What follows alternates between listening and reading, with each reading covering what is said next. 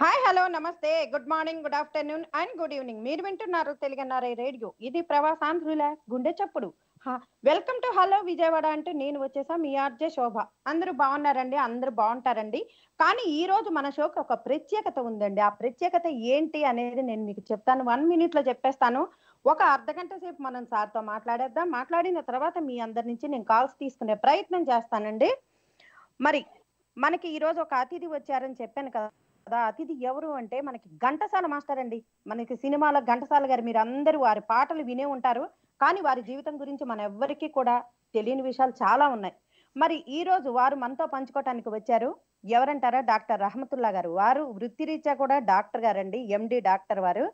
మరి అయినప్పటికీ కూడా ఘంటసాల గారి గురించి ఘంటావధానం చేసే వ్యక్తి అనమాట వారు. వారిని ఈ రోజు మీ ముందుకు తీసుకొచ్చాను. మరి ఘంటసాల సంగీ సంగీత సామ్రాజ్య చక్రవర్తి ప్రసన్న మధుర భావార్థమూర్తి. దశ దిశా వ్యాప్తం ఆయన ఘనకీర్తి. మరెవ్వరికీ దక్కని మధురాను రక్తి.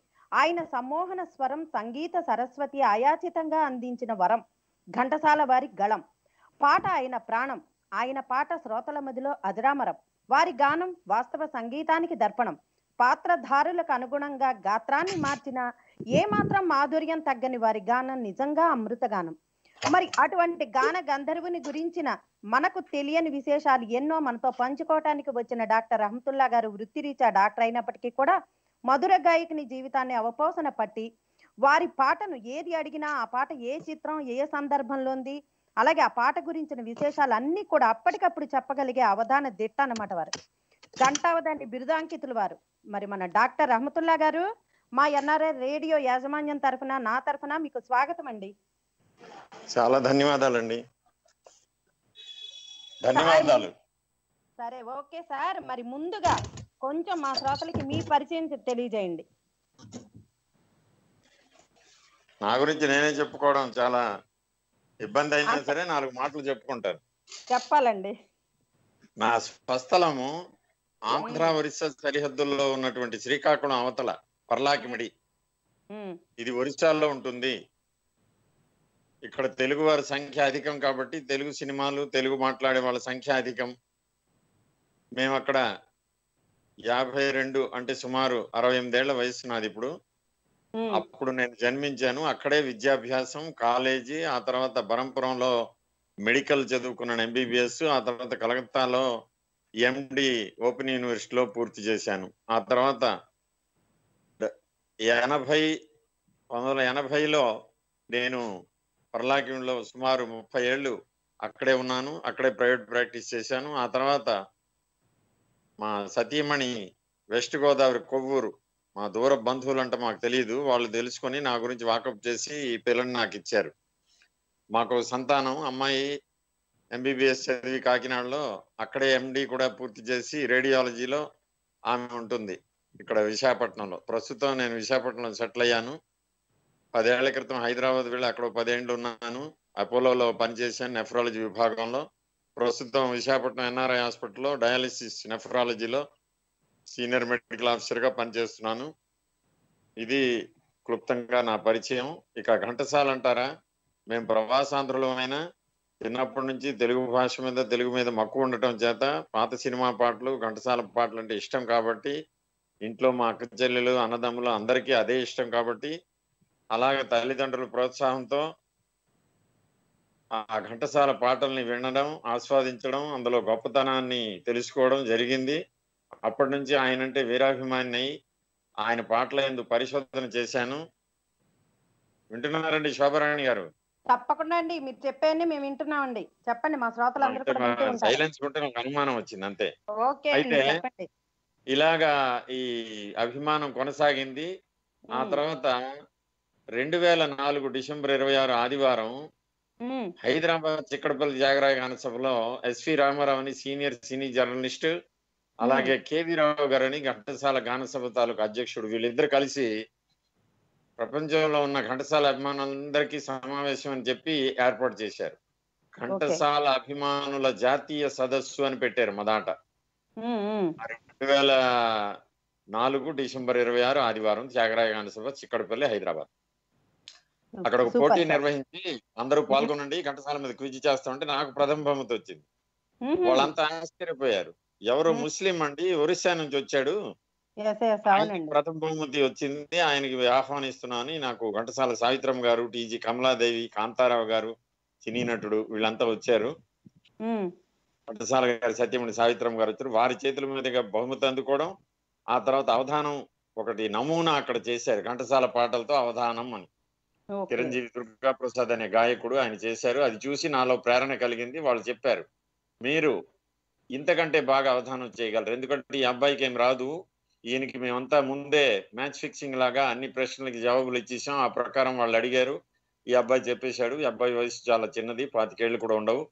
మేము మ్మ్. నమూనా అవధానాన్ని చూపించాము మీలో ఎవరైనా ఈ అవధానాన్ని కొనసాగించి ఘంటసాల గారి కీర్తి ప్రతిష్టల్ని యావత్ ప్రపంచం చాటండి అని ఒక సవాల్ని విసిరారు.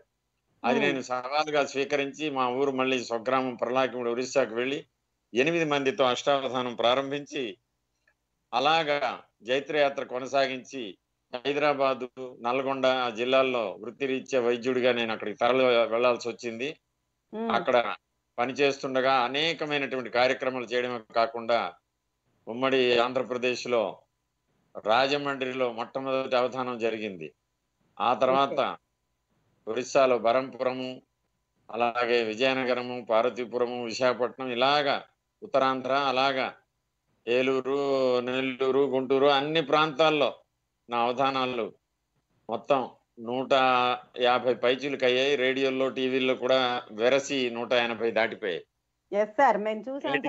రెండు వేల నాలుగు డిసెంబర్ ఇరవై ఆరు ఆ తర్వాత రెండు వేల ఐదులో నేను మొదలెట్టానంటే సుమారు పదిహేను ఏళ్ళు అయింది మొదట సంవత్సరంకి మూడు నాలుగు అయ్యేవి. ఆ తర్వాత దీని రుచి తెలుసుకున్న వాళ్ళు సంవత్సరంకి ఇప్పుడు పన్నెండు పది దాకా అవుతున్నాయి. అంటే ప్రతి నెల ఎక్కడో చోట అవధానం ఉంటుంది. ఎస్ సార్ మేము కూడా మీ వీడియోలు అన్ని కూడా చాలా చూసామండి. మీరు ఇటుపక్క అటుపక్క కనీసం పాతిక ముప్పై మందిని ఒకేసారి పెట్టుకొని మీరు అవధానం చేస్తారు. ఫస్ట్ చెప్పిన వాళ్ళ పేరు కూడా గుర్తు పెట్టుకొని వాళ్ళ ప్రశ్న గుర్తు పెట్టుకొని ఎంత చక్కగా మీరు వాళ్ళకి ఆన్సర్లు చేయటం అనేది చాలా గ్రేట్ అండి. అదేనండి. పండితుల అవధానంకి నా అవధానానికి ఆ చిన్న తేడా ఉంది.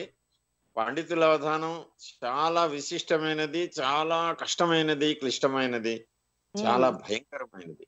అది చేసేవాళ్ళు వేళ్ళ మీద లెక్క పెట్టేటట్టు ఉంటారు. జిల్లాకు. ఒకళ్ళు ఉండడం కష్టం. పండిత అవధానం. చేయడం తెలుగు సాహిత్యం మీద. ఇది తెలుగు వారి. సొత్తు. ఇంకో- ఇంకో భాషలో కానరాని ప్రక్రియ. ఈ అవధానాన్ని స్ఫూర్తిగా తీసుకొని నాకు కలిగినటువంటి ఆ త్యాగరాయ గాన సభలో ఆనాడు ఆ ప్రేరణకు నేను ఘంటసాల అవధానాన్ని రూపొందించుకొని ఎనిమిది మంది పృచ్ఛకులతో మొదలెట్టి అలా పృచ్ఛకుల సంఖ్య యాభై దాకా చేరిపోయింది. అవును సార్ వాళ్ళంతా ఆహ్వానించి గొడవ చేస్తే యాభై మందితో పృచ్ఛ ఇది అవధానం చేయాల్సి వచ్చింది. సుమారు రెండు గంటలు పట్టింది. ఈ యాభై మంది ప్రశ్నలు వేశారు. వాళ్ళ పేర్లు ప్రశ్నలు గుర్తుంచుకొని వెంటనే మళ్ళీ అందరికీ సమాధానాలు చెప్పాను ప్రస్తుతం. అటువంటి. పరిస్థితులు యాభై మంది పృచ్ఛకులు ఒక్కో చోట దొరకడం కష్టంగా ఉంది కాబట్టి ఇరవై మంది ముప్పై మంది వీటితో చేస్తున్నాను. తర్వాత. సమయం కూడా ఉండాలి. కనీసం రెండున్నర గంటలు పడుతుంది యాభై మందితో చేయడానికి. ఇలాగా అవధానం పదిహేను ఇరవై ముప్పై ఇలాగ ఈ- ఈ సంఖ్యతో చేస్తున్నాను. నా ఉద్దేశం ఏంటంటే నేను ఇచ్చే సందేశం ఈ అవధానం అన్నది మెన- మెదడుకు పదును పడుతుంది జ్ఞాపక శక్తిని వృద్ధి చేస్తుంది. కాబట్టి విద్యార్థులేమిటి వనితలేమిటి ఎవరైనా సరే తమకు నచ్చిన సబ్జెక్ట్ పై అవధానం చేయవచ్చు. ఒకడికి మహేష్ బాబు పిచ్చి మహేష్ బాబు సినిమాలతో అవధానం చేసుకోవయ్యా నువ్వు? ఇంకెవడికో ఎన్టీఆర్ ఏఎన్ఆర్ పిచ్చి అతని సినిమాలు అతని పాటలతో చేయండి ఇంకెవరికో రాజకీయ నాయకులు రాజీవ్ గాంధీ ఇందిరాగాంధీ వైఎస్ఆర్ చంద్రబాబు ఏదనుకోండి ఆ నాయకుడు తాలూకు జీవిత చరిత్ర అతని తాలూకు గొప్ప విషయాలు అవన్నీ క్రోడీకరించి ఒక పది మందినో ఆరుగురినో పెట్టుకుని ఒక అవధానం చేయండి కాబట్టి నా. లక్ష్యం ఏంటంటే నా సందేశం ఈ అవధానం ద్వారా ఒక వ్యక్తి యొక్క అవధానాన్ని ఎవరైనా చేయవచ్చు. తద్వారా వారి యొక్క మేధోశక్తి జ్ఞాపక శక్తి ప్రతిభ ఇవన్నీ బహిర్గతం అవడానికి ఒక గొప్ప అవకాశం. అంతేకాదు విద్యార్థులు కూడా తమకు నచ్చిన ఆ ఎనిమిది పది సబ్జెక్టులు పెట్టి ఎనిమిది పది విద్యార్థులను టీచర్లను పెట్టుకొని స్టేజ్ మీద అవధానం చేయవచ్చు. వనితలు వంటావధానం చేయొచ్చు. వాళ్ళకి. తెలిసిన విభిన్న వంటలు నాకు ఇన్ని వంటలు తెలుసు. ఎవరేంటి అడుగుతారు? అడగండి నేను చెప్తా. అడిగారు మీరు చెప్పారు దాన్ని ఇంటర్వ్యూ అంటారు అవధానం అనరు అవధానం. అంటే జ్ఞాపక శక్తి పరీక్ష దాన్నే ధారణా. శక్తి అంటారు ఆ. ధారణా శక్తి పరీక్ష కాబట్టి మీరందరూ ఆ ప్రశ్నలన్నీ విని ఆ తర్వాత సమాధానం ఇస్తే అప్పుడు జ్ఞాపక శక్తి మెరుగుపడుతుంది మొదట్లో. ఇబ్బంది వచ్చినా మున్ముందు అలాగా ధారణా శక్తి పెరిగి మంచి ప్రతిభావంతులు అవడానికి దోహదం అంటే కారణభూతం అవుతుంది ఇదే నా సందేశం ఇలాగ ఎవరైనా చేస్తే నేను చాలా సంతోషిస్తాను. సూపర్ సార్ మీ సందేశం. మరి మన ఘంటసాల గారి గురించి కొంచెం తెలుసుకుందాం సార్. ఘంటసాల అమరగాయకుడు కదా గానగంధర్వుడు. అలాగే కారణ జన్ముడు కూడా అండి. మరి అటువంటి విశిష్ట వ్యక్తి బాల్యం గురించి కొంచెం చెప్పండి. మన వాళ్ళకి ఇప్పటి వాళ్ళకి ఎవరికి తెలియవండి ఇలాంటి విషయాలు? ఘంటసాల గారి పాటలు అయితే ఆస్వాదిస్తున్నారు అందరూ. కాబట్టి ఆయన గురించి కూడా తెలుసుకునే వాళ్ళు చాలా తక్కువ ఉంటారు కాబట్టి అడుగుతున్నాను. పంతొమ్మిది ఇరవై రెండు డిసెంబర్ నాలుగు. పునర్వసు నక్షత్రం శ్రీరాముని యొక్క నక్షత్రం. ఆ నక్షత్రంలో ఆయన పుట్టారు కాబట్టి వాళ్ళంతా చాలా సంతోషించారు. వాళ్ళ పూర్వీకుల గ్రామం కృష్ణా జిల్లాలో ఘంటసాల అని ఒక ఊరుంది అది. కానీ వాళ్ళు. తరలి వచ్చేశారు. వాళ్ళ అర్చకులు కాబట్టి ఘంటసాల తాత ముత్తాతలు. అర్చకులు అవటం చేత గుడివాడ తాలూకాలో ఉన్నటువంటి చౌటపల్లి గ్రామానికి వాళ్ళు వచ్చేశారు. అక్కడ. ఘంటసాల జననమైంది. పెదకళ్ళేపల్లిలో కూడా కొన్నాళ్ళు ఆయన ఉన్నారు. ఆ తర్వాత విద్యాభ్యాసం అంతా చౌటుపల్లిలోనే జరిగింది. అక్కడ. పెద్దగా ఆయన చదువుకోలేదు. ఆయనకి ఎక్కువ పుస్తకాలు సంగీతం అంటే కొంచెం ఆ తండ్రి వాళ్ళు గుణాలు ఇవన్నీ. వాళ్ళ తండ్రి గారు సూర్యనారాయణ గారు ఏం చేసేవారు? తరంగాలకి మృదంగం వాయించేవారు. ఆ తరంగాలకి అబ్బాయిని ఘంటసాల గారిని ఐదేళ్ళ ప్రాయం నుంచే తీసుకెళ్ళిపోయేవారు అబ్బాయిని వీపును మోసుకుని తీసుకెళ్ళేవారు ఈయన నృత్యం చేసి అక్కడ ఆకట్టుకున్నాడు. నృత్యం అంటే అర్థము? తాళము శృతి చక్కగా ఉండాలి. ఆ చక్కని హావభావాలు ప్రకటిస్తూ బాలభరతుడు అనే బిరుదును పొంది అనేకమైనటువంటి పథకాలు బహుమతులు పొందారు బాలనాటి నుంచే. ఆ తర్వాత ఆయన తండ్రి గారు పదకొండో ఏటనే చనిపోతే చివరి కోరిక తండ్రి నువ్వు ఎప్పటికైనా మంచి విద్వాంసుడు అవ్వాలి. నువ్వు సంగీత విద్వాంసుడు అవ్వాలి. కర్ణాటక సంగీతంలో నిష్ణాతుడు అవ్వాలి అని ఆయన కోరితే బాధపడుతూ అలాగే నేను తప్పకుండా నెరవేరుస్తాను నీ కోరిక అని చెప్పి మాట ఇచ్చినటువంటి వ్యక్తి అది ఎలా సాధించాలని అర్థం కాలేదు. పదకొండేళ్ళ ప్రాయంలో ఏం తెలుస్తుంది అతనికి? మేనమామ ర్యాలీ శ్రీరామయ్య అని వాళ్ళ. సంరక్షణ ఆయన పొలం పనులు చేసుకుంటూ చేతులు బొబ్బలెక్కి నానా బాధలు పడి మరి నువ్వు పనికిరావురా దీనికి కూడా? ఆ ఇంట్లోనే ఉండు ఏం పని చేయకని చెప్పారు మేనమామ గారు. ఇది ఎలా పోషించాలి? కుటుంబం చాలా దయనీయమైనటువంటి స్థితిలో ఉంది. ఆర్థికంగా వెనకబడి ఉన్నారు. అన్నయ్య. ఆదినారాయణ శాస్త్రి తమ్ముడు సదాశివుడు. ఇక జయప్రద సుబ్బమ్మ అన్నపూర్ణ అని ముగ్గురు అక్క చెల్లెళ్ళు. వీళ్ళందరికీ పెళ్ళి చేయాలి. ఇవన్నీ చాలా సమస్యలు ఉన్నాయి కాబట్టి వాళ్ళ మేనమామ సంరక్షణలో వాళ్ళు ఎలాగో అవన్నీ ఆ సమస్యల్ని పరిష్కరిస్తుండగా ఈయన విజయనగరం వెళ్ళిపోయారు. తన చేతి వేలి ఉంగరాన్ని నలభై రూపాయలు విలువ గల ఉంగరాన్ని ఎనిమిది రూపాయలకి తాకట్టు పెట్టేసి విజయనగరం వెళ్ళి పంతొమ్మిది వందల ముప్పై ఆరు అంటే పద్నాలుగేళ్ళ ప్రాయంలో విజయనగరం చేరుకుని అక్కడ అష్ట కష్టాలు అనుభవించారు ఎందుకంటే వేసవిలో వెళ్ళటం వల్ల కాలేజీ తీయలేదు. ఈయనేమో గుళ్ళు వరండాలు రోడ్ల మీద ఎక్కడో తలదాచుకుని అక్కడే పడుకుని నాన్న బాధలు పడుతూ పట్రాయని సీతారామ శాస్త్రి గారి శిష్యుడిగా అక్కడ. ఒక అవకాశం లభించింది. వాళ్ళ ఇంట్లో స్థానం లభించింది. అక్కడ చాలా రోజులు ఉన్నారు. అలాగే కాలేజీలో కూడా కొన్నాళ్ళు ఉన్నారు. హాస్టల్లో. ఇలాగ వచ్చేసారు స్వగ్రామానికి క్విట్ ఇండియాలో పాల్గొని ఆ ఉద్యమం ద్వారా జైలుకి వెళ్ళడం జరిగింది ఆ తర్వాత. ఆయన సుమారు పద్నాలుగు నెలలు జైల్లో ఉండి బళ్ళారి అలీపూరు ఇవన్నీ జైల్లో కాకినాడ ఇది గుడివాడ జైలు రాజమండ్రి జైలు ఆ తర్వాత. బళ్ళారి దగ్గర అలీ ఇవన్నీ సుమారు పద్నాలుగు నెలలు శిక్ష అనుభవించి స్వాతంత్ర సమరయోధుడిగా విడుదలై వివాహం. చేసుకున్నారు తెనాలి దగ్గర ఉన్నటువంటి పెదపులివరు గ్రామం సావిత్రమ్మ అనే అమ్మాయిని ఆమె వివాహం చేసుకున్నారు. నాదొక చిన్న సందేహం సార్. ఘంటసాల. గారి ఘంటసాల గారి ఊరు పేరు ఘంటసాల అన్నారు. మరి వీరి ఇంటి పేరు కూడా ఘంటసాలేనానండి వీరి ఇంటి పేరునే ఊరు పేరుగా పెట్టారా? ఆ ఊరు పేరు నుంచి ఆ వాళ్ళకి పూర్వం చాలా మందికి ఊరు పేర్లే ఇంటి పేర్లు అవుతు- అవుతుండే మన తెలుగు వాళ్ళకి అదొక లక్షణం ఉంది. అవు- అవునవును. అందుకే అడుగుతున్నా. ఘంటసాల వాళ్ళ ఇంటి పేరు. ఆ కారణంలో ఉన్నారు వాళ్ళంతా పూర్వీకులు. Okay sir. ఇప్పటికీ అక్కడ ఘంటసాల గారి విగ్రహము జలధీశ్వర ఆలయము బౌద్ధుని బుద్ధ విగ్రహము ఇవన్నీ ఒకే చోట ఉన్నాయి. వాళ్ళంతా ఎంతో గర్వంగా చెప్పుకుంటారు. చాలా ఘంటసాల అంటే ఆ ఘంటసాల అనే ఊరు ఎప్పుడూ లేనిది. పంతొమ్మిది వందల అరవై ఏడులో ఘంటసాల గారికి గజారోహణం జరిగింది. చిన్నప్పుడు ఆయన ఏనుగును చూసి నేను ఏనుగు ఎక్కుతాను నాకు ఏనుగు ఎక్కాలని అని మారం చేస్తే ఉద్రాబాబు అని తల్లిదండ్రులు వాళ్ళు గొడవ చేశారంట. తండ్రి గారితో ఈయన అనేక కచేరీలకు వెళ్ళేవాడు ఈయన తరంగాలకి ఘంటసాల గారు మ్, మ్, ఆ. కోరిక అరవై ఏడు అంటే. నలభై ఐదేళ్ళ ప్రాయంలో తీరింది అనమాట అప్పటికి ఈయన సినీ సీమ చిత్రసీమలో అద్భుతమైన వ్యక్తిగా కీర్తి ప్రతిష్టలు ఉన్న తరుణంలో ఘంటసాల గ్రామం వారు ఆహ్వానించి గజారోహణం చేశారు ఘంటసాలకు. ఘంటసాల అనే గ్రామంలో మీరు చిత్రసీమ అంటే నాకు గుర్తుకొచ్చింది సార్. మరి ఘంటసాల గారి చిత్రసీమకి అసలు ఎలా పరిచయం అయ్యారు? ఆయన యొక్క తొలి రోజులు ఎలా గడిచినాయి? వారిని ఎవరు పరిచయం చేశారు? వాళ్ళ అత్తవారు పెదపులివారు మ్, అక్కడికి వెళ్తే సముద్రాల గారు పరిచయం అయ్యారు సీనియర్ సముద్రాల. వాళ్ళకి అదే ఊరు పెదపులివారు మ్, ఆ వివాహ సమయంలోనే అంతకు ముందే పెళ్ళి ఏదో పండు మీద ఈయన వెళ్తుంటే పరిచయం అయ్యారు. వివాహం నాటికి ఘంటసాల గారు తాను కొంత సంగీతం మరి నేర్చుకున్నారు కదా విజయనగరంలో. తన. పెళ్ళి కచేరీ చేసినటువంటి ఒక విచిత్రం జరిగింది అనమాట ఆ రోజుల్లో కచేరీలో సులభం కాదు లభించడం. తక్కువ మంది. విద్వాంసులు ఉండేవారు. కాబట్టి ఘంటసాల గారు పెళ్ళి కొడుకుగా పెళ్ళి అయిన తర్వాత తన కచేరీని నిర్వహించారు పెళ్ళి కొడుకు గారే. చిత్రాల సీనియర్ ఇవన్నీ చూసి చాలా సంతోషించి ఈ అబ్బాయికి "ఆ, మరి ఏంటి ఏం చేయాలనుకుంటున్నాం అంటే ఈ కచేరీలు చేస్తే ఏం వస్తుంది ఆదాయం? మరి నేను అప్పటికే అతను సినీ చిత్రసీమలో వెలిగిపోతున్నాడు. వందల ముప్పై ఐదు నాటికి వెళ్ళిపోయాడు ఆయన చిత్రసీమకి సముద్రాల సీనియర్. కాబట్టి నీకు మద్రాసు ఒకసారిరా నీ అదృష్టాన్ని పరీక్షించుకో అని ఒక అవకాశం ఇచ్చారు. పెళ్ళైన రెండు మూడు నాలుగు నెలలకే ఆయన వెళ్ళిపోయారు మద్రాసు. ఓకే. వెళ్ళి అక్కడ ఆయన అదృష్టాన్ని పరీక్షించుకున్నారు. అక్కడ ఆయన చాలా రేడియో స్టేషన్లకి ఇక్కడికి అక్కడికి ఉత్తరాలు ఇచ్చి పంపించారు.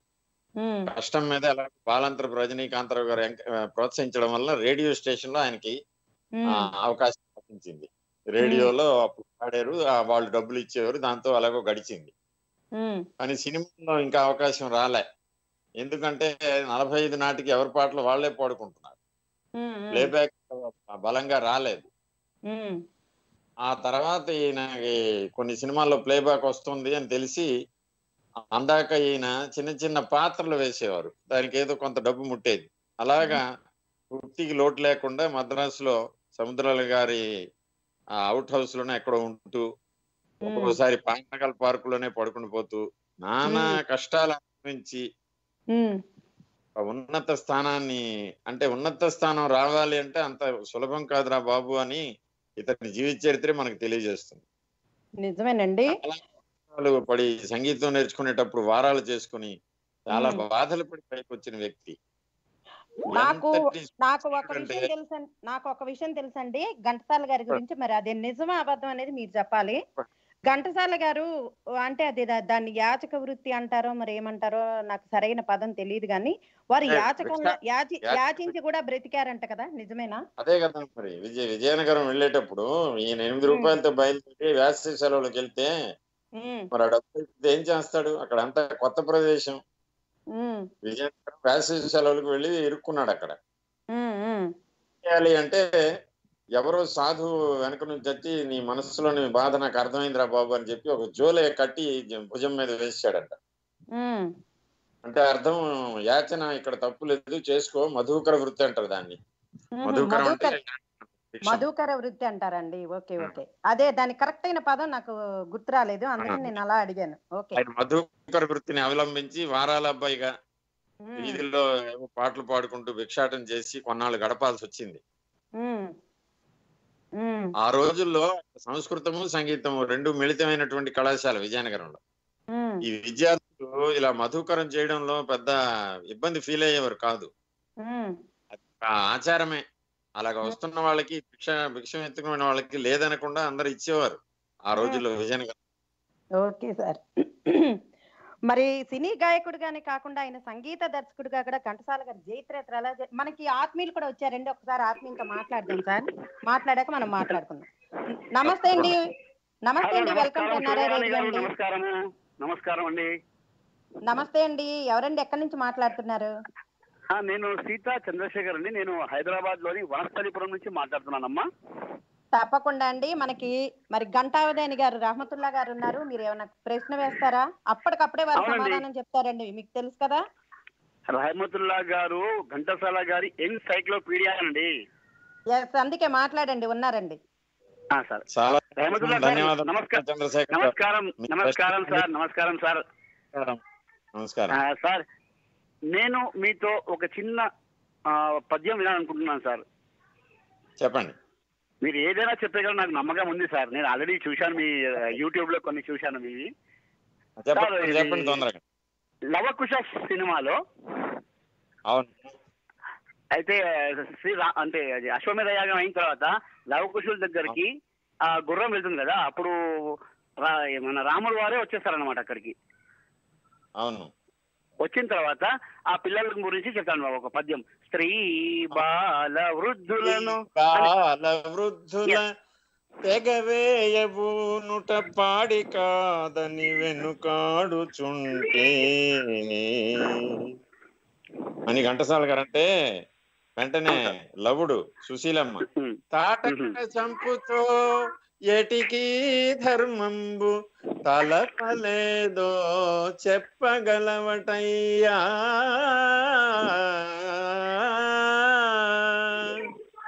అద్భుతం. చెప్పండి. అద్భుతం. హలో. హలో మా వి- ఆ, తర్వాత మరి రామారావు గారు అంటారు. చెప్పండి. హలో అప్పుడు తర్వాత రామారావు గారు కూడా అంటారు. హలో అండి నమస్కారం. చాలా ముని కుమారుల చంపగూడదటంచునే గొంకుచుంటే వెంటనే లేలమ్మ అంటే కుషుడికి లీల పాడింది. వా- సుబ్రహ్మణ్యం అని యాక్టర్ నటించాడు లవుడుగా నాగరాజు నటించాడు. రిపులపై ఎవరైనా కృప వహించురటయ్య గొంకు కాదది మీకు జంకుగాని.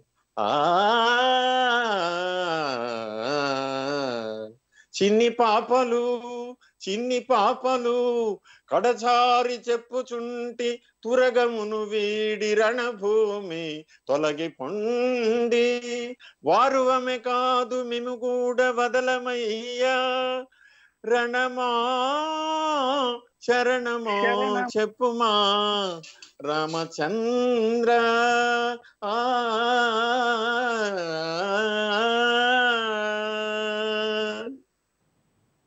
ఓకే అండి. ఓకే సార్ థ్యాంక్ యూ అండి. మరి మనకి ఇంకొక ఆత్మీయులు వచ్చారండి. నమస్తే అండి వెల్కమ్ టు రేడియో అందరికి క్లుప్తంగా సమాధానం ఇస్తే ఎక్కువ మందితో మాట్లాడొచ్చు. ఒక్కొక్కరికి. ఇంతసేపు సమాధానం ఇస్తే కొంచెం ఇబ్బందే. క్లుప్త అవును. చాలా ఓకే చెప్పండి. మనకు ఆత్మీయులు వచ్చారు మరి కాల్ కట్ అయిందండి మరి మనం మాట్లాడుకుందాం సార్. సినీ గాయకుడుగానే కాక సంగీత దర్శకుడిగా కూడా ఘంటసాల గారి జైత్రయాత్ర ఎలా సాగిందంటారు? ఆయన సంగీతం నేర్చుకున్నారు. ఆయన కొత్తగా వెళ్ళినప్పుడు నటుడుగా పాపం కొన్ని పాత్రలు ఇస్తే బాధపడ్డారు. ఇదేంటిది. నేను సంగీత గాయకుడిగా వద్దానంటే చిన్న చిన్న పాత్రలు ఇస్తున్నారని ముందు ఇలా. కానీరా బాబు అని చెప్పి సముద్రాల గారు ప్రోత్సహించగా అలాగా నాగయ్య గారు ఇతని తాలూకు ప్రతిభను చూసి ముందు స్వర్గసీమలో పాట ఇచ్చారు భానుమతితో యుగళగీతం దాంతో ఆయన జైత్రయాత్ర గాయకుడిగా మొదలైంది. మ- మనకు ఆత్మీయులు. ఏమండి? మనకు ఆత్మీయులు వచ్చారు ఒకసారి వారితో మాట్లాడదాం. తప్పకుండా తప్పకుండా. నమస్తే అండి వెల్కమ్ టు ఎన్ఆర్ఐ రేడియో అండి. నమస్తే అండి శోభనాయుడు గారు మరి మరియు హేమతుల్లా సార్ నమస్కారం డాక్టర్ గారు గుర్తుపెట్టారా? బండారు త్రిమూర్తి గుప్తా నమస్కారం. అండి ఎవరండి? నా పేరు త్రిమూర్తి అండి. పెద్దాపురం ఒకసారి సుశీలం గారి ఫంక్షన్లో మీరు అక్కడికి వచ్చి హైదరాబాద్లో షో చేశారు మీరు. ఓకే అండి. త్రిమూర్తి త్రిమూర్తులు గారు మీరు ఏమన్నా ప్రశ్న అడిగితే ఒకసారి ప్రశ్న అడిగేసి రేడియోలో. వినండి. మనకి మనకి ఎక్కువ మంది ఆత్మీయులు రావాలి. సరే అండి. అంటే గంటసాల మాస్టర్ గారు చేసినటువంటి సినిమాలు చాలా స్వరకర్త స్వరకర్తగా కూడా చాలా సినిమాలు చేశారు. మంచి పాటలు అవి పాడారు. మీరు వారి కోసం చక్కగా చెప్తున్నారు. నేను అడగబోతున్న క్వశ్చన్ ఏమిటంటే గుండమ్మ కథ. ఈ కథ మాయా బజార్తో పాటు వారు తీసిన వారు సంగీతం సంగీతం చేసిన మొదటి సినిమా ఏమిటి? లాస్ట్ ఆఖరి సినిమా ఏమిటి? ఓకే అండి చెప్తారు వినండి. గారు ఈ కృష్ణవేణి అనే నటగాయని ఉంది. ఎవరో ఆత్మీయులండి? హలో అండి ఎవరో కొంచెం మ్యూట్లో ఉంటారా ప్లీజ్ అండి? ఆ, ఓకేనండి ఓకే ఓకే. ఓకే అండి మ్యూట్లో ఉండండి ఎందుకంటే డిస్టర్బెన్స్ వస్తుంది. ఓకే అండి చెప్పండి మీరు. రహమతుల్లా గారు. ఘంటసాల గారు ముందుగా ఈ కృష్ణవేణి అనే నటగాయి నుండి ఆమెతో పరిచయం ఏర్పడిన తర్వాత ఆమె ఈయన్ని ప్రోత్సహించింది గాయకుడిగానే కాకుండా దర్శకుడిగా సంగీత దర్శకుడిగా కూడా. ఆమె సహకారం పొంది ఒకేసారి మూడు చిత్రాలు బుక్ అయ్యారు. ఈలోగా రత్నమాల బాలరాజు స్వప్న సుందరి ఇటువంటి చిత్రాలకి రక్షరేఖ ఈ. చిత్రాలన్నిటికీ ఆయన అసిస్టెంట్ మ్యూజిక్ డైరెక్టర్గా సుబ్రహ్మణ్యం గాలిపెంచల వారి దగ్గర పనిచేశారు. కృష్ణవేణి గారు ఒకేసారి మూడు సినిమాలు ఇవ్వడం జరిగింది. ముందు ఒకటి అనుకోవడం అది సగం ఆపడం ఇది నెక్స్ట్ ఫిలిం అది ఇదండి ఇది చేయండి అనడం. అలాగే కీలుగుర్రం లక్ష్మమ్మ మన దేశం మూడు చిత్రాలకు ఒకేసారి సంగీత దర్శకత్వం వహించే గొప్ప అవకాశం ఆయనకు లభించింది. అందులో కీలుగుర్రం ముందు విడుదలైంది. ఆయన ఒప్పందం కుదుర్చుకున్న చిత్రం లక్ష్మమ్మ.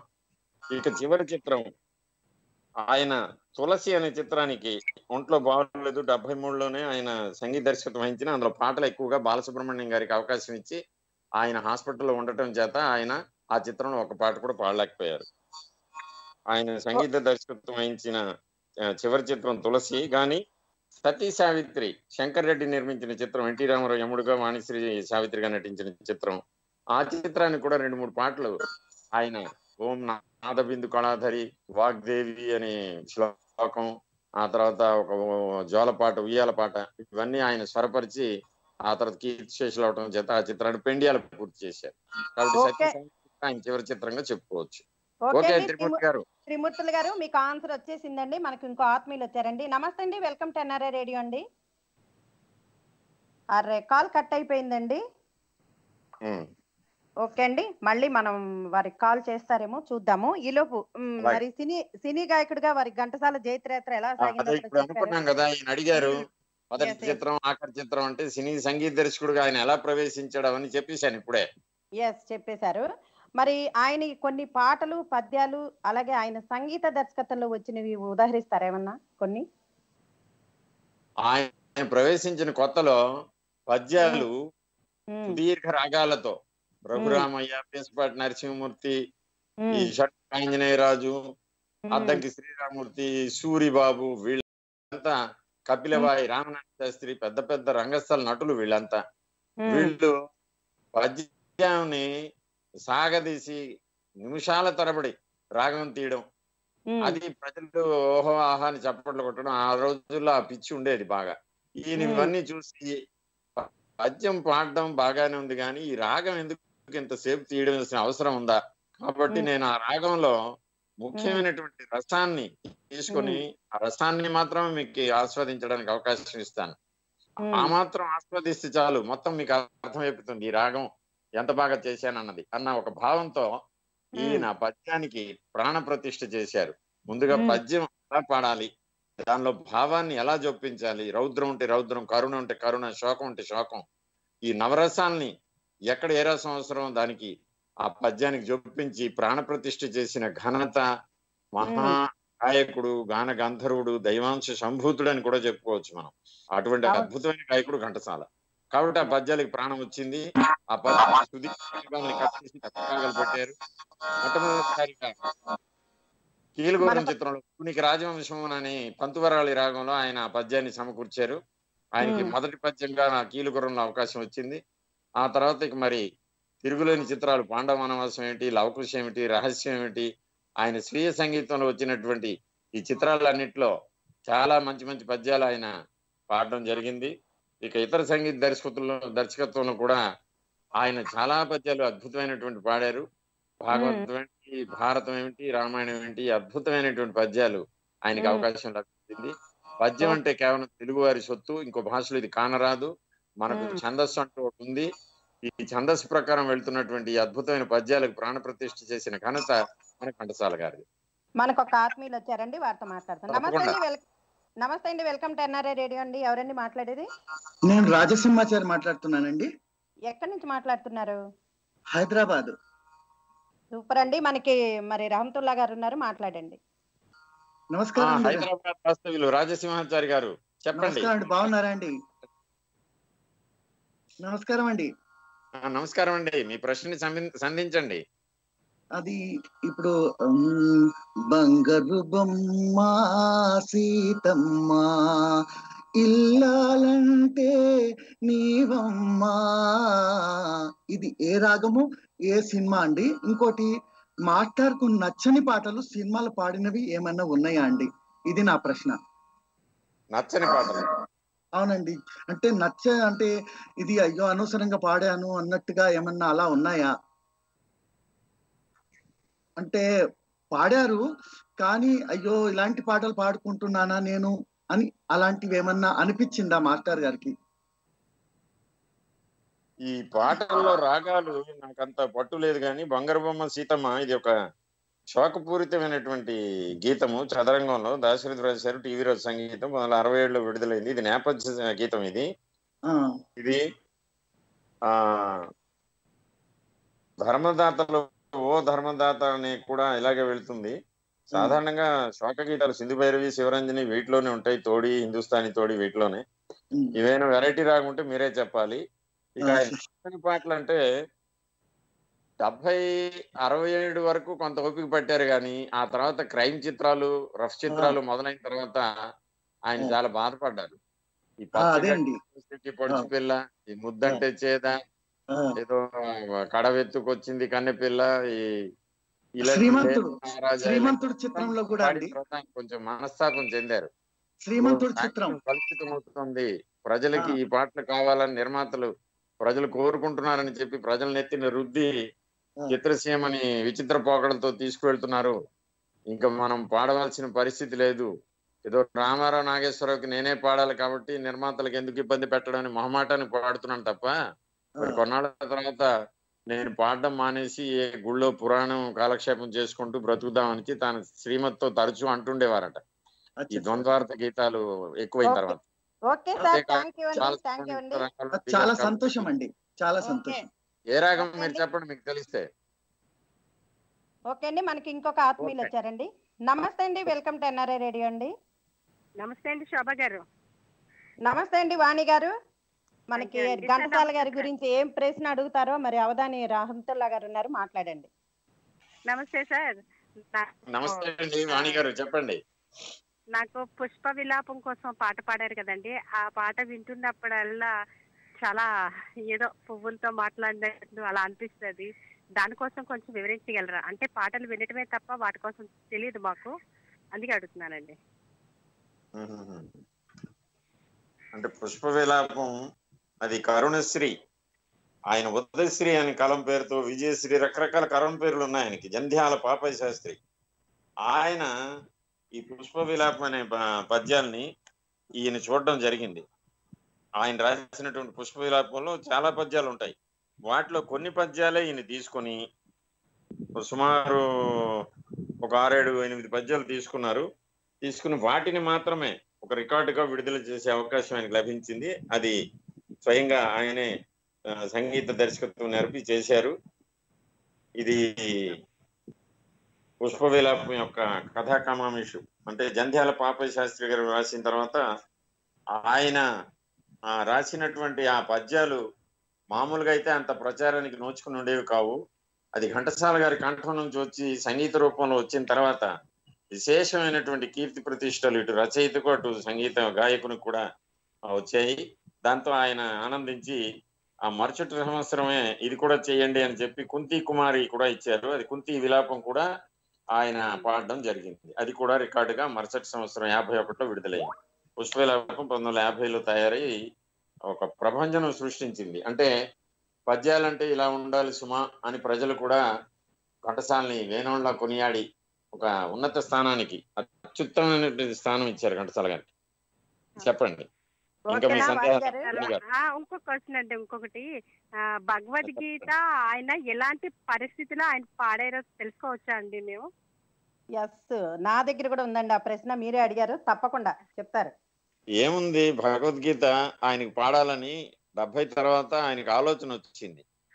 ఈలోగా పంతొమ్మిది వందల డెబ్బై ఒకటిలో లతా మంగేష్కర్ తన తండ్రి యొక్క స్మృత్యర్థం అంటే వర్ధంతిని హైదరాబాద్లో నిర్వహిస్తూ ఘంటసాల అంటే నాకు చాలా ఇష్టం.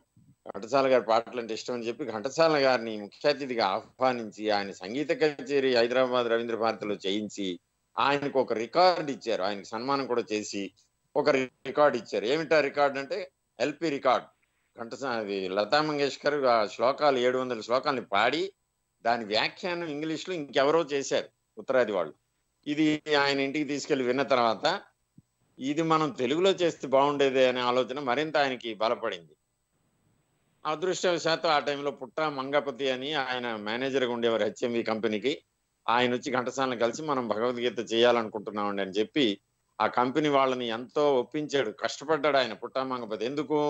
ఉత్తరాదిలో లతా మంగేష్కర్ పాడింది అది హిట్ అయినది హిట్ అయిపోయింది. కాబట్టి తెలుగులో మనం సుబ్బలక్ష్మి ఎంఎస్ సుబ్బలక్ష్మి చేత పాడిద్దామని గొడవ చేశారు వాళ్ళు.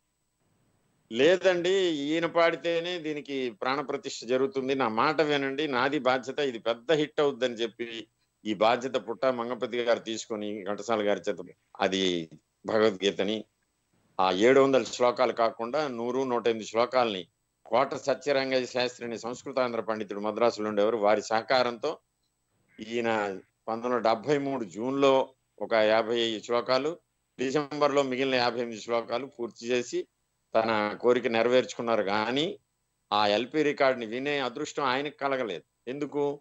ఆ ఏవి హెచ్ఎంవి వాళ్ళు ఇంత తొందరగా విడుదల చేయము రెండు భాగాలు పూర్తవని అన్నారు. సరే డిసెంబర్కి అయిపోయింది కదా అనుకుంటే మరుసటి సంవత్సరం పంతొమ్మిది వందల డెబ్బై నాలుగు ఫిబ్రవరి పదకొండు నాటికి ఆయన చనిపోయారు. ఆ తర్వాత ఏప్రిల్లో అది విడుదలైంది. ఓకేనా వాణి గారు? వాణి గారు వెళ్ళిపోయారట్టుందండి వినే ఉంటారండి. అలాగే అలాగే. Okay sir. మరి ఘంటసాల గారు విదేశీయానం కూడా చేశారా?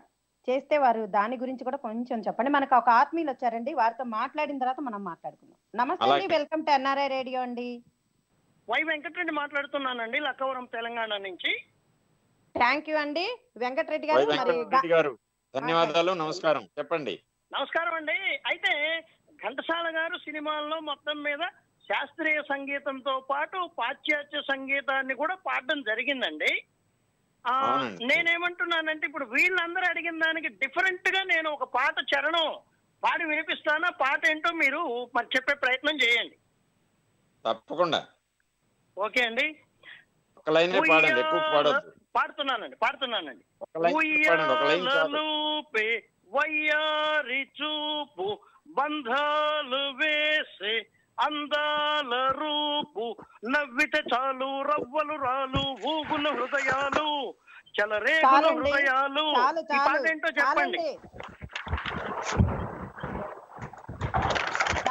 నల్లూరు కోటేశ్వర గారు ఒక్కసారి మీరు మ్యూట్లో ఉంటారా? ప్లీజ్ అండి. ఓకే. ఓకే. ఆ రెడ్డి గారు మిమ్మల్ని ఒక్క లైన్ కూడా వద్దు. ఎక్కువ పాడొద్దు అన్నారు ఓకే ఓకే. కోటేశ్వర గారు ఆ, ఓకే. మీరు కొంచెం డిస్టర్బెన్స్ వస్తుందండి. మ్యూట్లో ఉంటారా? ఇక్కడ సైలెంటే కదా అసలు. ఎవ్వరు లేరు. ఏంటో మరి సౌండ్ రెడ్డి గారు ఏంటి? ఏంటి పాడారు? క్లియర్గా వినబడలేదు. మ- మళ్ళీ పాడు మళ్ళీ పాడుతున్నాను వినండి. ఓకే వినండి. ఉయ్యాలూపే వయ్యారి చూపు బంధాలు వేసే అందాల రూపు నవ్విత చాలు రవ్వలు రాలు ఊగును హృదయాలు చెలరేగును హృదయాలు. ఇదండి. హలో అండి. హలో. ఐడియా రావడం లేదు. నేను చెప్తానండి. ఇది అబ్బాయి కళ్ళు అండి యా యా కరెక్ట్ అండి. సూపర్.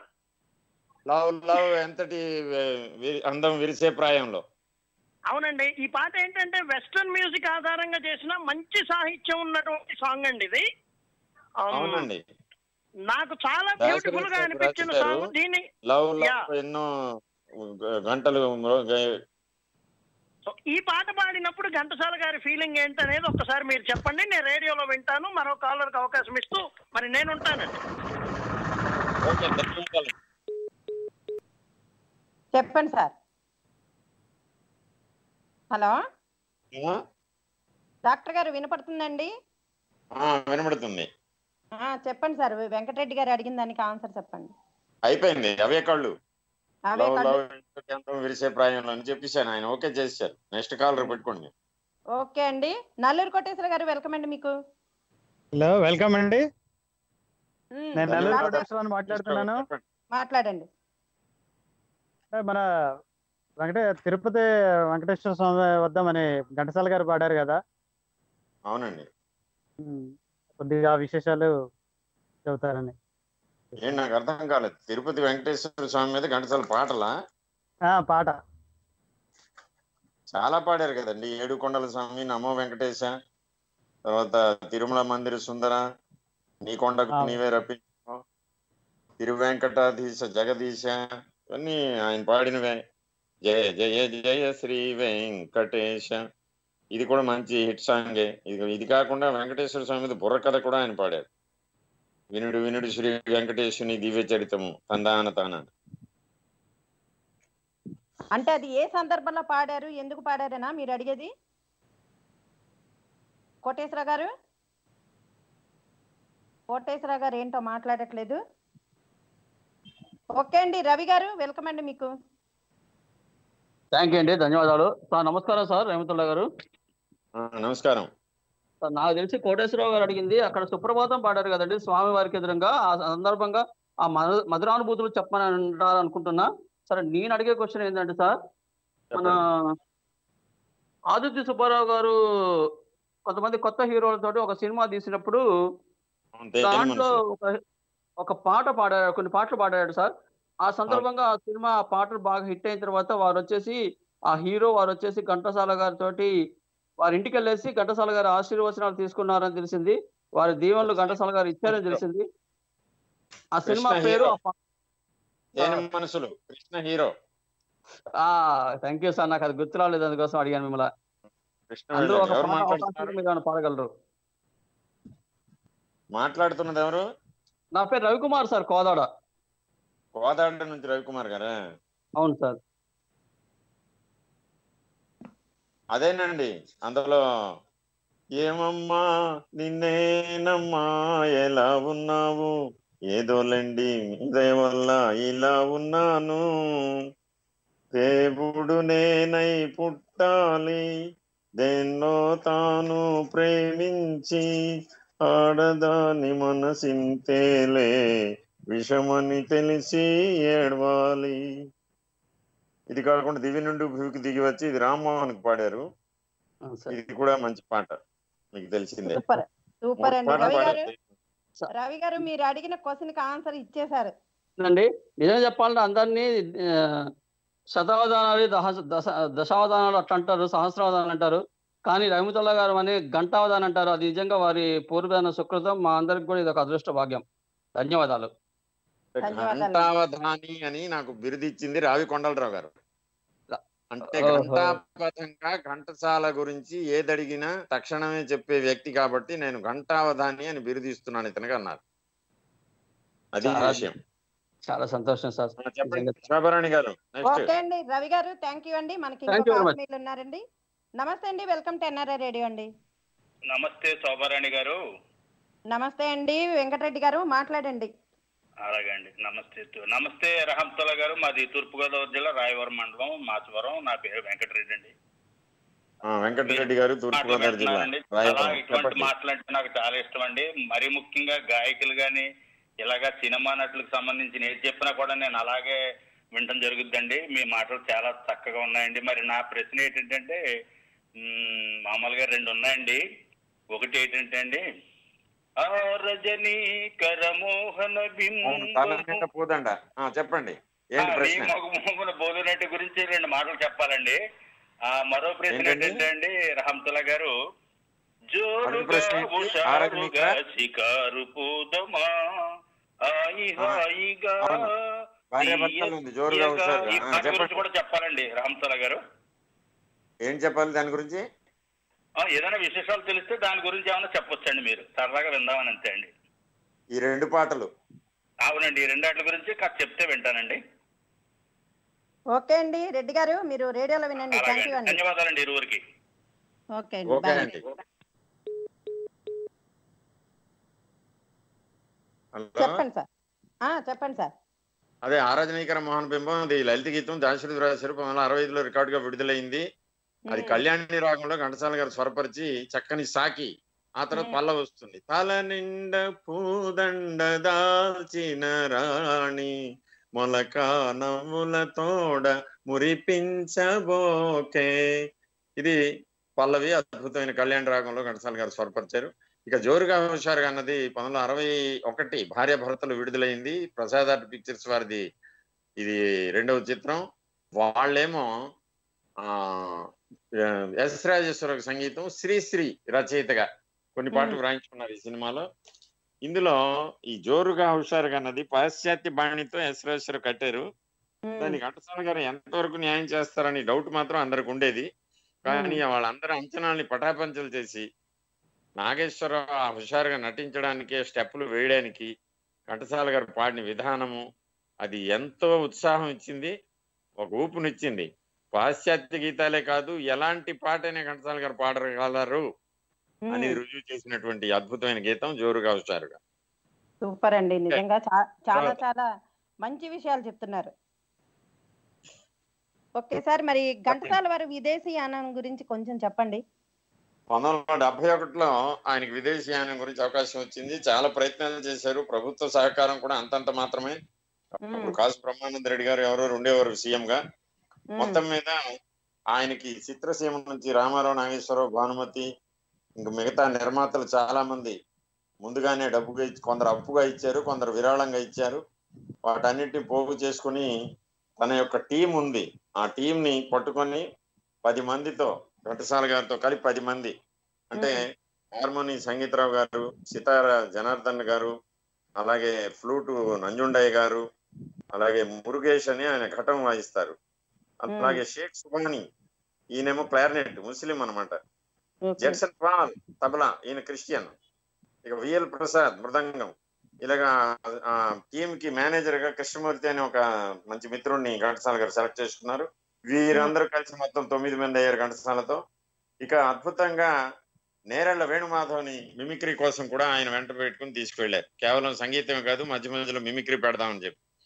అలాగే ఆయన చైత్రయాత్ర ముందుగా జర్మనీలో పంతొమ్మిది వందల డెబ్బై ఒకటి అక్టోబర్ ఏడవ తేదీన మద్రాసు నుంచి బయలుదేరి జర్మనీకి ఎనిమిదవ తేదీ నాటికి చేరుకున్నారు.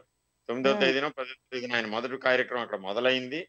అక్కడ అద్భుతంగా ఈ మెటాలిక్ వాయిస్ అని చెప్పి పత్రికలు ప్రశంసించాయి. ఆ తర్వాత అక్కడ నుంచి ఆయన జర్మనీ తర్వాత లండన్ వెళ్ళి లండన్ నుంచి అమెరికాలోని సుమారు అక్టోబర్ పదమూడు నుంచి నవంబర్ అక్టోబర్ ఆఖరి వరకు అక్కడే అమెరికాలో ఉండి UNWA లో కూడా ఆయన ప్రోగ్రామ్ ఇచ్చి శాంతి పథకం అనే ఒక పథకం మెడల్ పీస్ మెడల్ ఆ యుఎన్ఓ వాళ్ళు ఇచ్చారు. అది ఒక అరుదైన అవకాశం ఆయనకు. ఆ UNWA లో కచేరీ చేసినందుకు వారు సన్మానించి శాంతి పథకాన్ని ఇచ్చారు.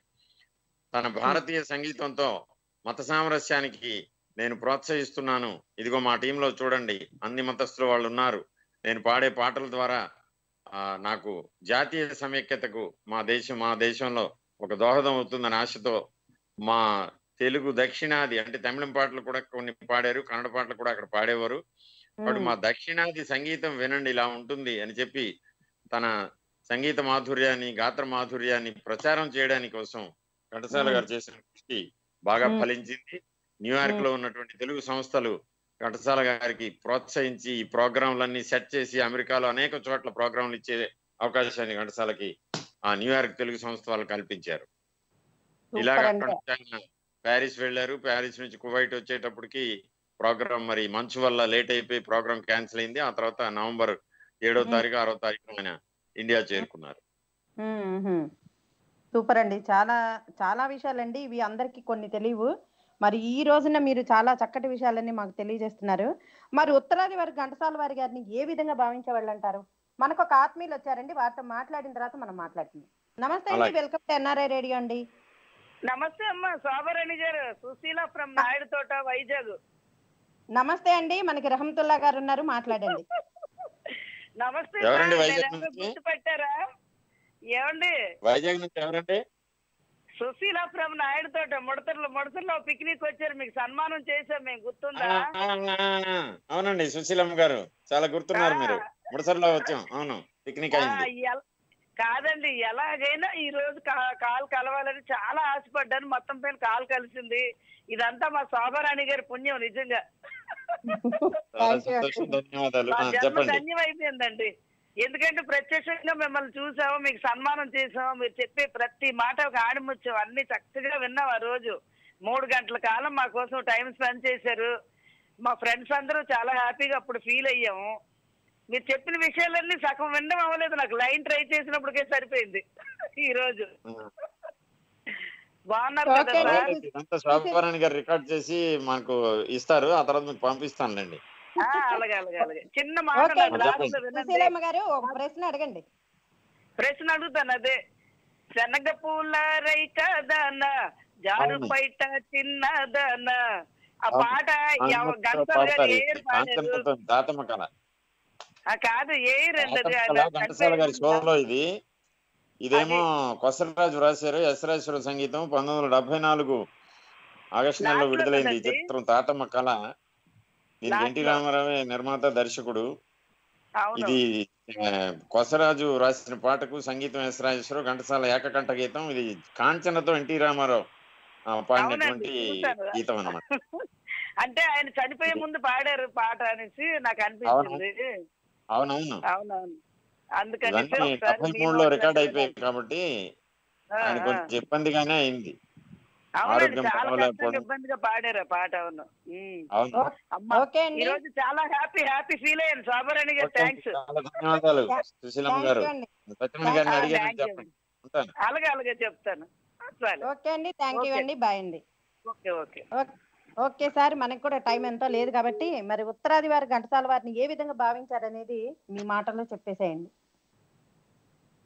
అంటే ఉత్తరాది వారు ఘంటసాల గారి పాటల్ని పంతొమ్మిది వందల యాభై ఒకటి యాభై రెండు నుంచే వినడం మొదలెట్టారు.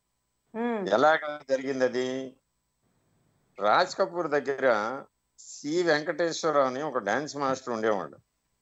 రాజ్ కపూర్ చిత్రాలకి ఆయన డాన్స్ డైరెక్టర్గా ఉండి చాలా పాటలకి డాన్స్ నృత్యం కంపోజ్ చేయడం చేసేవాడు అనమాట ఆయన మద్రాసు నుంచి అక్కడికి వెళ్ళిన వ్యక్తి ఘంటసాలతో పరిచయం ఉంది ఆయనకి. ఎందుకంటే బాలరాజ్ చిత్రంలో నవోదయం శుభోదయం అనే పాటకి ఘంటసాల గారు పాడితే ఈయన లిప్ మూమెంట్ ఈయన డాన్స్ చేశాడు అంజలిదేవితో.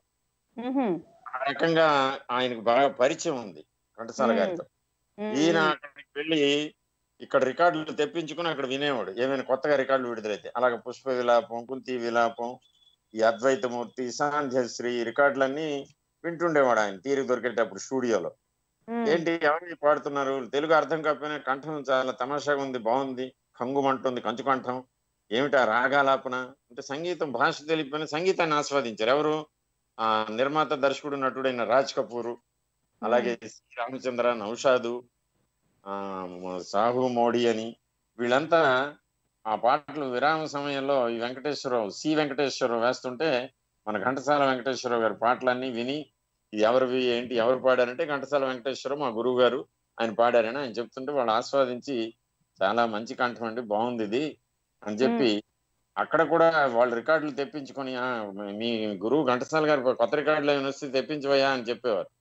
ఈయన మ్మ్. సినిమా పాటల కంటే ఎక్కువగా లలిత గీతాలను ఎక్కువ తెప్పించి అన్ని విడిపించేవాడు అనమాట ఆ రాగాలు విని అంత ఉత్తరాది రాగాలు కొన్ని ఉన్నాయే అనేసి వాళ్ళు చాలా సంతోషించారు. దానికి. ఆయన కారణం చెప్పాడు. బడే గులాం అలీ ఖాన్ యొక్క శుశ్రూష అంటే సేవ ఈయన చేసుకున్నాడు వాళ్ళ ఇంట్లో పెట్టి అందుకే ఆయన ఉత్తరాది సంగీతం మీద పట్టుంది. అందుకే ఉత్తరాది సంగీతం ఆధారం చేసుకుని అనేక పాటలను ఆయన స్వరపరుస్తుంటారని చెప్పారు. నిర్మాత అయినటువంటి పైడి జయరాజ్ అని హైదరాబాద్ వాస్తవుడు ఇతను. ఇతను. సాగర్ అనే సినిమా తీసేటప్పుడు ఈ సినిమాకి సంగీత దర్శకత్వం మీరు చేస్తే బాగుంటుందండి అని చెప్పి ఘంటసాల గారిని ఆహ్వానించాడు ఉత్తరం రాసి. దానికి ఈయన భయపడ్డాడు. హిందీ ఫీల్డ్కి వెళ్తే ఇక్కడ తెలుగు సినిమాలు పోతాయేమో అని అనుమానంతో వెళదామా వద్దని సముద్రాల వాళ్ళ గురువు గారిని అడిగితే సముద్రాల సీనియర్ వద్దు అలా వెళ్ళొద్దు నువ్వు వెళ్తే ఇక్కడ పోతుంది అక్కడ పోతుంది అక్కడ అంత ఈజీ కాదు నువ్వు దక్షిణాది వాడివి ఉత్తరాదిలో మరొకటి కష్టం నీకు. కాబట్టి నువ్వు ఉత్తరం రాసేయి ఎక్కువ డబ్బు అడుగు వాళ్ళు ఎలాగా లేదని ఇస్తారు ఆ రకంగా తప్పించుకో అన్నాడు. ఈ లక్ష రూపాయలు రాశాడు ఆ రోజుల్లో పంతొమ్మిది అరవై ఐదు ఆ ప్రాంతంలో. అప్పుడు ఇరవై వేలు ముప్పై వేలు ఇవ్వడం ఎక్కువ అట. అలాంటిది లక్ష రూపాయలు అడుగుతున్నాడు ఏమిటి అని వాళ్ళు డ్రాప్ అయిపోయారు. అంటే ఇష్టం లేక అలా రాయడం అన్నమాట. అర్థమైంది కదండి? ఓకే ఓకే అండి. మరి మనకండి ఒక ఆత్మీయులండి. మంత్రి లక్ష్మయ్య గారు ఒక ప్రశ్న పంపించారు. దానికి ఆన్సర్ మీరు చెప్పాలి. హర్నాథ్ తప్పకుండా. హీరో హర్నాథ్ హీరోగా చిత్రం పూర్తి కాలేదంట. షూటింగ్ కూడా పూర్తి కాలేదట. కానీ ఘంటసాల వారి గారు సంగీతంలో దానికి మూడు పాటలు రికార్డ్ చేశారట. మరి ఆ చిత్రం విడుదలకు నోచుకోలేదంట. ఆ పాటలు ఎవరికీ దక్కలేదంట. మరి ఆ చిత్రం ఏ చిత్రం అని అడుగుతున్నారండి? ఇది మా గురువు గారు అనేటువంటి రావి కొండలరావు గారు ఈ విషయాలన్నీ చెప్పారండి. ఎందుకంటే ఆయన ఫీల్డ్లో ఉన్నారు కాబట్టి ఇది ఘటనా చక్ర అనే చిత్రం ఆ రోజుల్లో సదాశివ బ్రహ్మం తీద్దాం అనుకున్నాడు. అది మరి రికార్డింగ్ అయింది కానీ షూటింగ్కి కాలేదు. హరనాథ్ హీరో ఇందులో. ఇది ఘటనా చక్ర అనే చిత్రం గురించి. ఆయన అడిగారు క్వశ్చన్ అదే దీనికి ఆన్సర్ అదే. ఘటన చిత్రమా? ఘటనా చక్ర. ఘటన చక్ర అనే ఒక మూవీ తీశారనమాట ఓకే ఓకే సార్. మరి లక్ష్మి గారు మీకు ఆన్సర్ కూడా వచ్చిందని అనుకుంటున్నానండి. మరి మనకి టైం కూడా అయిపోయింది సార్. చివరిగా ఘంటసాల గారి గురించి రెండే రెండు మాటలు మీ మాటల్లో చెప్పండి. ఘంటసాల ప్రపంచం గర్వించదగ్గ గాయకుడు అండి ఎందుకంటే ఆయన కేవలం పాట పాడకుండా ఆ పాట ప్రాణ ప్రతిష్ఠ చేస్తాడు. అందుకు ఆ పాటలో అంత గొప్పతనం కనిపిస్తుంది. కాబట్టి అటువంటి అద్భుతమైన గాయకుడిని మనం ఎక్కడ చూడలేము. ఎంతో మంది ఆయన పాట పాడడానికి ప్రయత్నం చేయడమే తప్ప ఆయనలాగా పాడేవాళ్ళు చాలా కష్టం. అటువంటి. లేదు. దానికి ప్రత్యామ్నాయం లేదు. ఎందుకంటే ఆయన భావం పోషిస్తాడు. ఆయన. హాస్యము శృంగారము శోకము అన్ని రకాల రౌద్రము ఎన్ని చెప్తాం ఆయన పాటలు? కొన్ని కొల్లలు ఉన్నాయి. ఉదాహరణలు చెప్పాలంటే ప్రతి పాటలో ఆ ప్రాణం మనకు వింటి లేచి రావడానికి కారణం ఆయన ప్రాణ ప్రతిష్ఠ చేస్తాడు భావంతో. కాబట్టి. అటువంటి గొప్ప గాయకుడు గురించి ఉత్తరాది వాళ్ళు ప్రశంసించి మహమ్మద్ రఫీ కిషోర్ కుమార్ వీళ్ళు కాదయ్యా గాయకులు. అదిగో దక్షిణాదిలో ఉన్నాడు గాయకుడు ఘంటసాలని ఆయన పాటలు వింటుంటే మాలో మాకు ఉత్సాహం కలుగుతోంది. అని ఆ జగత్ జయదేవ్ అష్టపదులు భగవద్గీత శ్లోకాలు ఎందుకంటే వాళ్ళకి తెలుగు రాదు కాబట్టి ఉత్తరాది వాళ్ళు విని ఇటువంటి గాయకుడు మరి ఇంకొకళ్ళు లేడు అని వాళ్ళు తీర్మానించారు. సూపర్ అండి. చాలా విషయాలండి. ఘంటసాల గారి గురించిన విషయాలు అసలు మాకు ఎన్ని మాకే తెలియవు అంటే ఇప్పుడు వచ్చే వాళ్ళకి అసలు తెలియవండి. అలాంటి విషయాలన్నీ మాకు చక్కగా తెలియజేసినందుకు మీకు ధన్యవాదాలండి.